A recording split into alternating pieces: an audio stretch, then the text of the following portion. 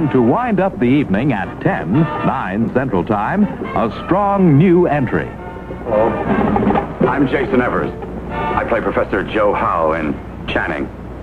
Henry Jones plays the role of Dean Baker. He made a serious charge against you, Joe. About Laurie? He claims you saw the two of you leaving your place last night. This is guest star Suzanne Pleshette. I want to dance with you, Professor. Go ahead, dance with her, Professor. She's working awfully hard at getting to the head of the line. Oh, shut up. I'm trying to help you. I'm trying to tell you that I do care. Laurie, you have a very special talent for writing and for life. But real talent is giving, not wanting. Develop your talent, Laurie. Don't trade on it. And look carefully at what you really want out of life. Words. Just a lot of pompous words.